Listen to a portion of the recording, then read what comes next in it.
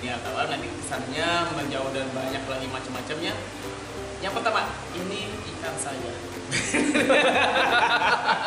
yang ini namanya bogel pakai V. Ya jenis apa ini mas? Lohan bonsai. Lohan bonsai. Itu semua bonsai itu emang apa bedanya? Maaf nih bonsai bukannya kecil. Terus apa bedanya dengan short body? Uh, 11-12 hanya saja short body itu agak sedikit melebar badannya. Kalau bonsai itu dia lebih cenderung bulat. Koin memanjang apa melebar? Memanjang sedikit. Memanjang sedikit. Kalau melebar? Iya. Oke sedikit. jadi ini bonsai koin? Iya. Ada bonsai yang bukan koin kak? Kayak bonsai kertas cepean gitu? Nggak ada pak. Kalau Jadi- itu, itu normal pak. Itu normal? Normal pak jadi nggak ada jenis lohan yang mini gitu. Maksudnya yang bentuknya bener kayak lohan tapi ukurannya emang kecil aja. Itu maksud kategori bonsai. Kategori bonsai. Semua ada dong yang normal Iya. yang kecil ya. Tapi nggak ada. Maksud gimana sih? Sama amat. Oke jadi ini bonsai tapi koin. Karena kayak koin ya bentuknya bulat. Jadi Karena- ini juga bulat juga. Iya bulat juga. Oke.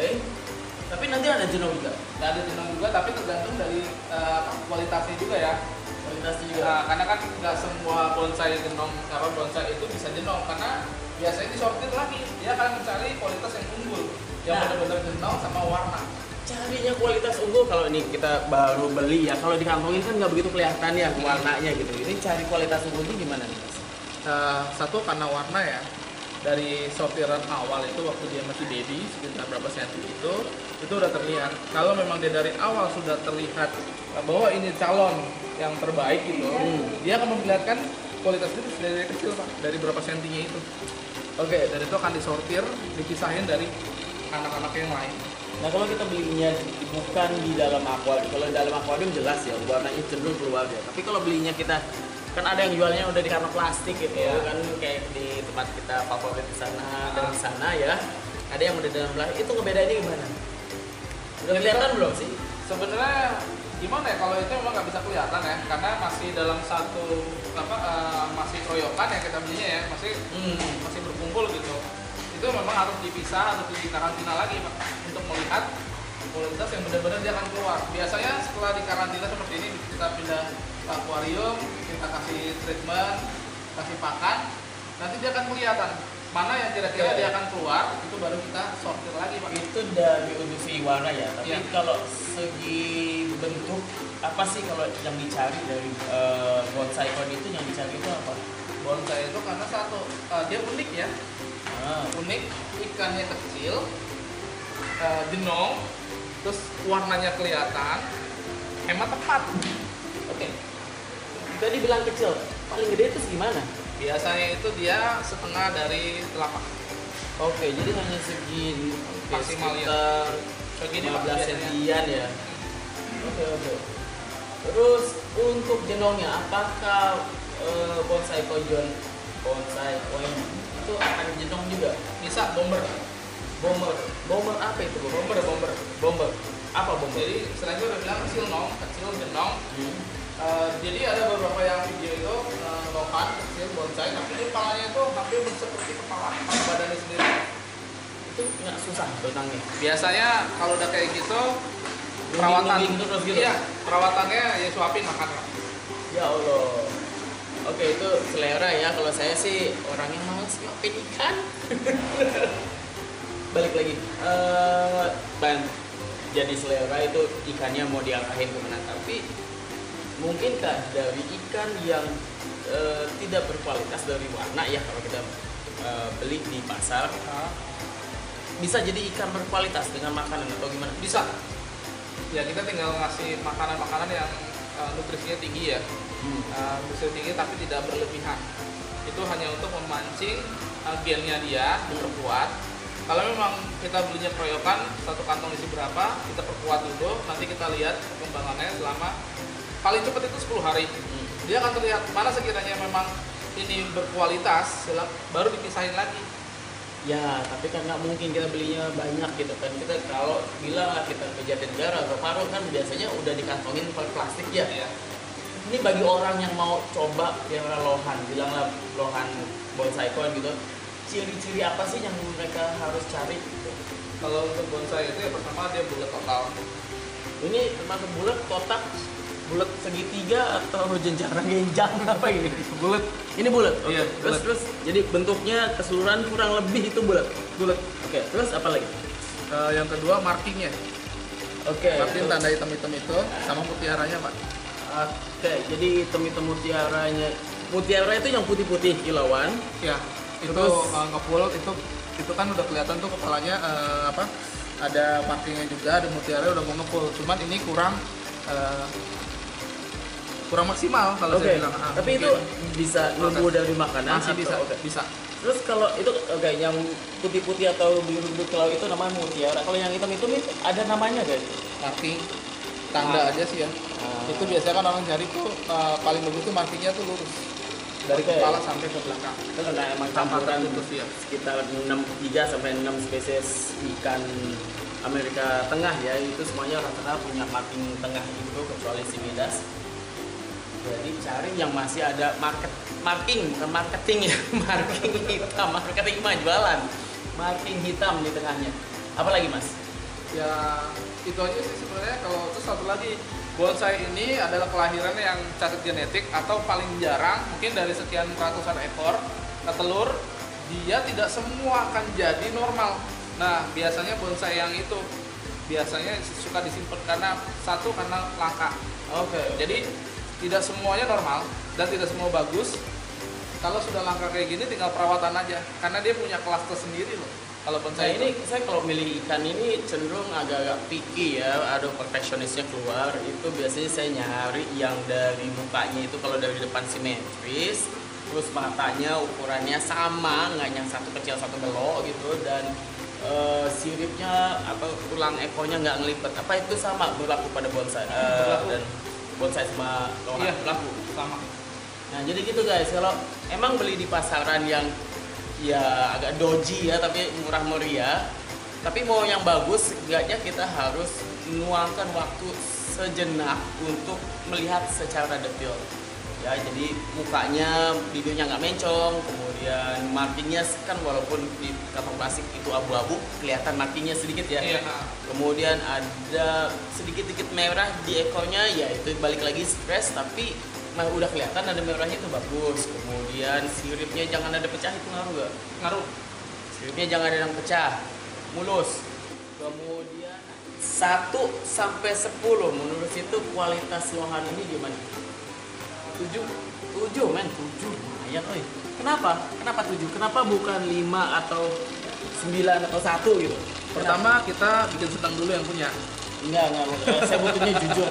Jujur ya, Jujur, ini markingnya. Pertama kita dari markingnya aja pak. Oke. Dari mata sampai ke ekor ini dia lurus. Walaupun ada sedikit pecah ya, tapi dia paling nggak sudah mendekati 20 persen Oke. dari belakang sampai ke itu. Terus yang kedua di atas kepalanya ini sudah terlihat uh, mutiara-mutiaranya. Hanya saja ini kan proses nih pak, Hmm. proses untuk uh, pemberian pakan supaya warnanya semakin keluar. Yang pertama, yang kedua markingnya semakin tinggi, mutiara semakin terang Oke. gitu dan ini sudah ada di sini dan angka 7 itu bisa berubah jadi angka 9 pak Oke.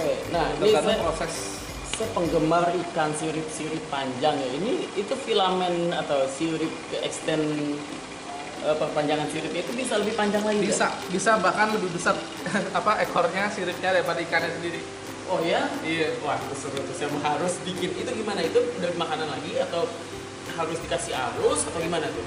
itu bisa arus bisa dari makanan saya nggak bisa ini karena saya juga pernah punya ikan seperti ini bonsai juga itu ekornya itu panjang sampai dia ngelipat Wih, oke iya akhirnya ada teman yang tertarik dibayarin pak Itu dengan harga yang spesial Nah, jadi gitu teman-teman.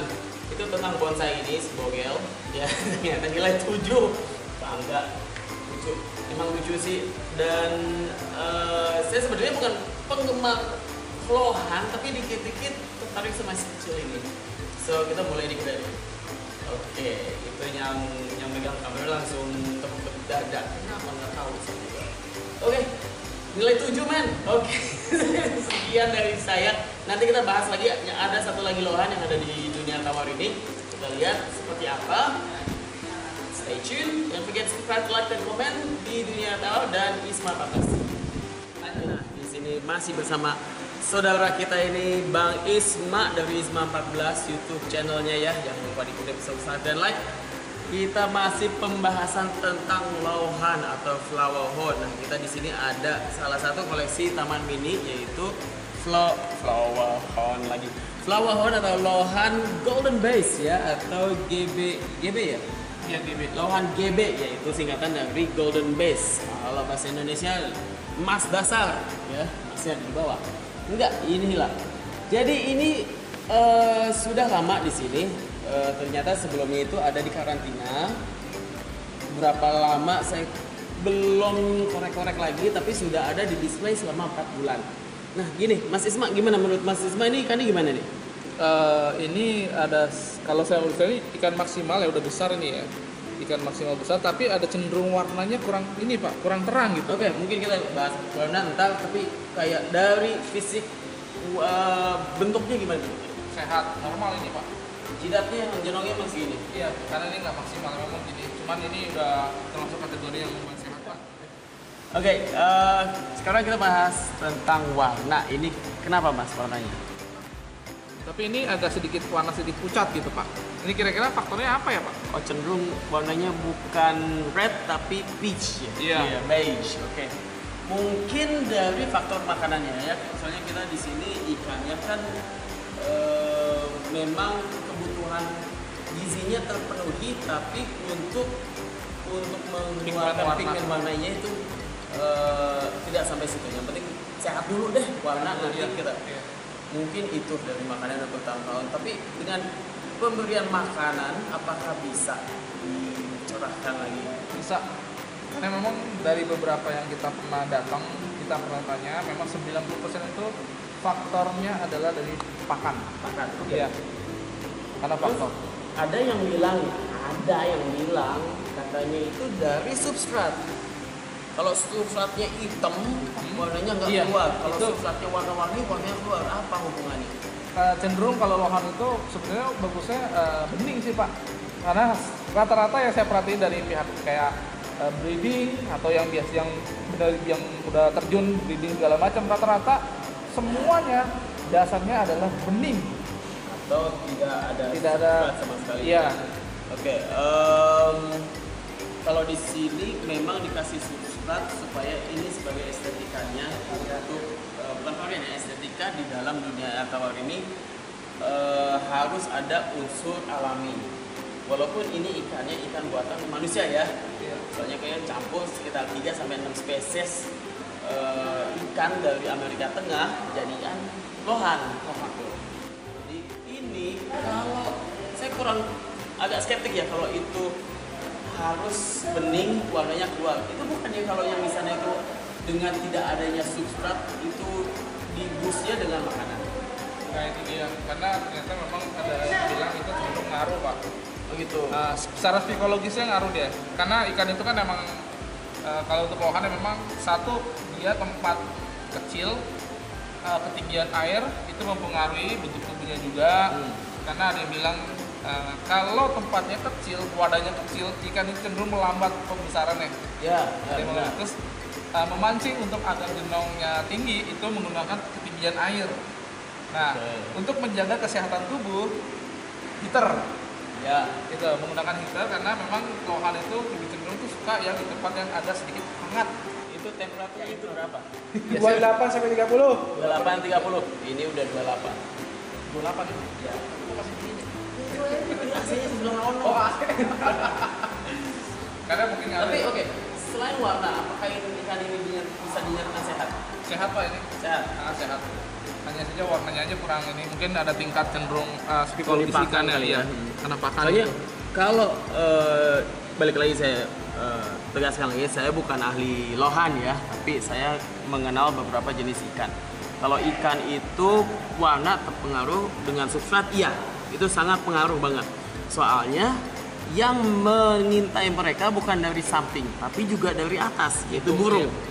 Jadi semakin gelap dasarnya, semakin menggelapkan badannya dan eh, jenis-jenis i- kalau di kedalaman ya warna apa kalau di laut ya ini kalau teori laut kalau makin dalam warna yang cepat hilang itu adalah merah jadi berubah jadi hitam oke.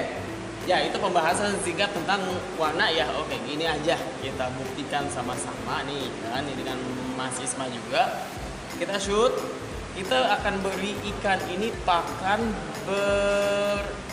berkualitas bagus untuk menaikkan warnanya. Ya apakah itu pengaruh pada eh, kulitnya ada warnanya? Atau sama sekali enggak?